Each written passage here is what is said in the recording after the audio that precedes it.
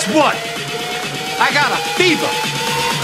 And the only prescription is more cowbell.